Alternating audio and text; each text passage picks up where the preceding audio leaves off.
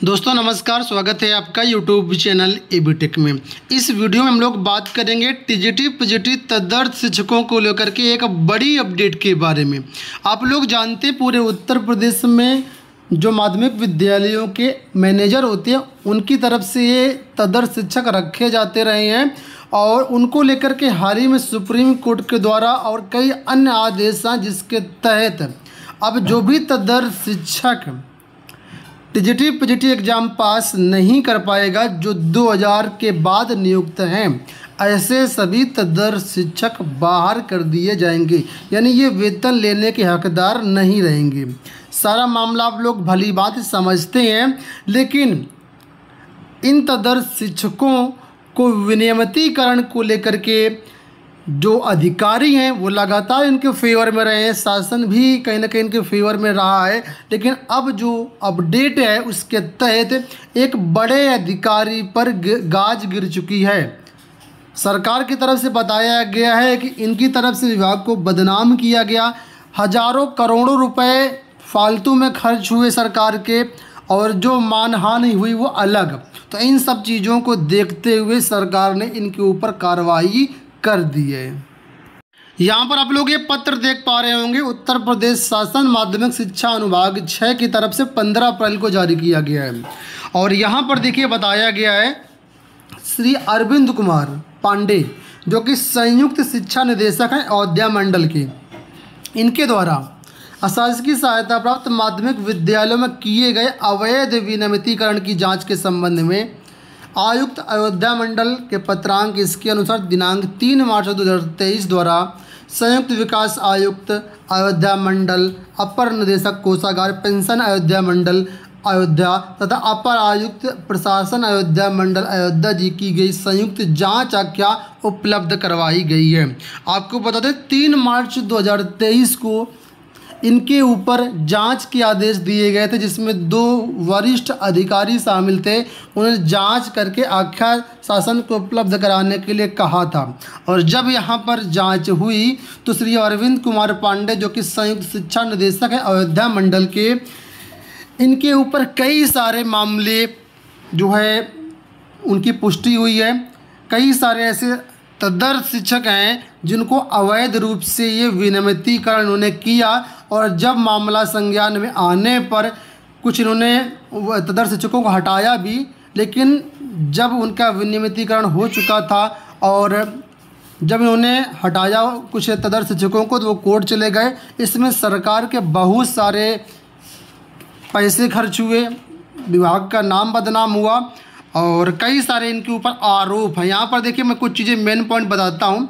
तो यहाँ पर देखिए बताया गया है कि जाँच में प्रथम दृष्टया यह पाया गया कि पांडे द्वारा ऐसे शिक्षकों का विनियमितीकरण किया गया है जो माननीय उच्च न्यायालय के आदेशों के क्रम में वेतन प्राप्त कर रहे हैं और जाँच के समय कतिपय शिक्षकों की पत्रावली के परीक्षण में यह पाया गया कि श्री पांडे द्वारा यहाँ पर देखिए मेन विनियमितीकरण के हकदार नहीं होंगे कि निर्देशों का पालन नहीं किया है। यानी ऐसे तदर शिक्षक जो विनियमितीकरण के हकदार नहीं थे, ठीक है, उनका विनियमितीकरण किया गया और जो कि नियमों के विरुद्ध है। यहाँ पर देखिए बताया गया कि 22 जुलाई 2021 से अद्यतन उनहत्तर तदर शिक्षकों को विनियमित करने की कार्रवाई इनके द्वारा की गई है, ठीक है, अवैध रूप से विनियमितीकरण की कार्रवाई इनके द्वारा की गई है।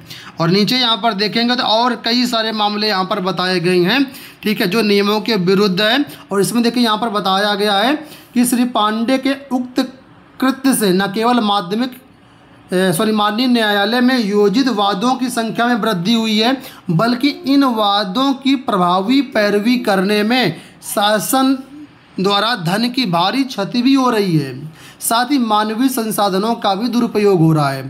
श्री पांडे जी का कृत्य उत्तर प्रदेश सरकारी कर्मचारी आचरण नियमावली के नियम तीन का स्पष्ट उल्लंघन है। यानी जो काम इन्होंने किए बहुत ही गलत है। पूरी तरीके से भ्रष्टाचार में लिप्त होकर के तदर शिक्षकों को फ़ायदा देने के लिए इनके द्वारा उनहत्तर तदर शिक्षकों को जो है विनियमितीकरण किया गया, जो कि बहुत होता है।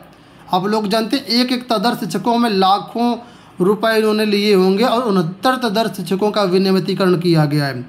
यहाँ पर देखो नीचे बताया गया है कि जानबूझ करके इस तरीके से कृत्य किए गए, इनके द्वारा अनुचित लाभ लेने के लिए ये सारी चीज़ें की गई हैं और इसमें बहुत सारा सरकार का जो धन खर्च हुआ।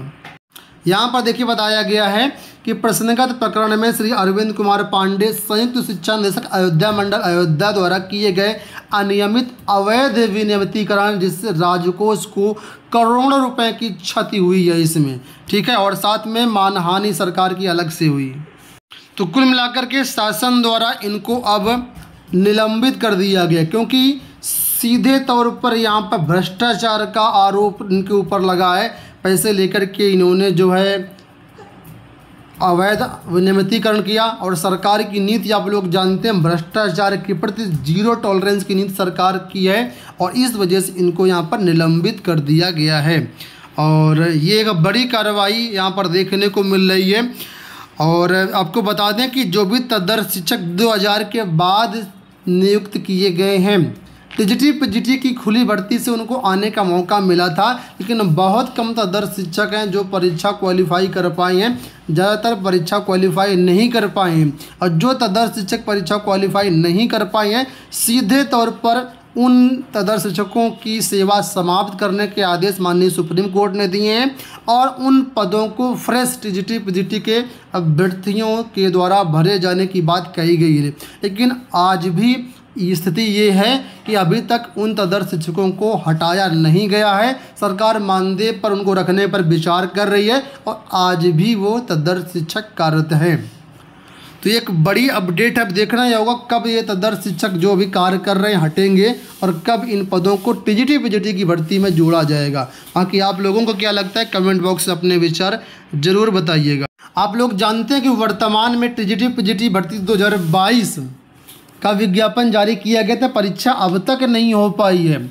और अभी हाल ही में कुछ दिन पहले अपडेट है कि माध्यमिक विद्यालयों में अभी बहुत से पद खाली हैं और ख़ासतौर पर अगर तदर शिक्षकों के पद फ्रेश अभ्यर्थियों को मिल जाते हैं तो फ्रेश अभ्यर्थियों काफ़ी ज़्यादा यहाँ पर फ़ायदा होगा, क्योंकि जितना ज़्यादा सीटें होंगी, उतना ज़्यादा बेरोज़गार साथी यहाँ पर चयनित होंगे। लेकिन इस पर आप लोग जानते हैं, पोर्टल खुलवा करके अध्ययन मंगाने के आदेश दिए गए थे, लेकिन अभी तक इस कड़ी में कोई भी कार्रवाई नहीं हुई। हालाँकि आश्वासन ज़रूर मिला है। कई जगह से आश्वासन मिला अभी कुछ दिन पहले। जो डीजी महोदय, उन्होंने भी आदेश दिया मतलब आश्वासन दिया था कि हम पदों की संख्या में वृद्धि करेंगे, पोर्टल खुलेगा। लेकिन कब खुलेगा, ये अभी किसी को कुछ नहीं पता है। तो उम्मीद करते हैं वीडियो पसंद आया होगा। आने वाले टाइम पर जो कुछ भी अपडेट मिलेगी चैनल के माध्यम से हम आपको अपडेट करते रहेंगे। फ़िलहाल दोस्तों, इस वीडियो में इतना ही। अगर आपने चैनल सब्सक्राइब नहीं किया हो तो चैनल को सब्सक्राइब ज़रूर कर लेना। धन्यवाद।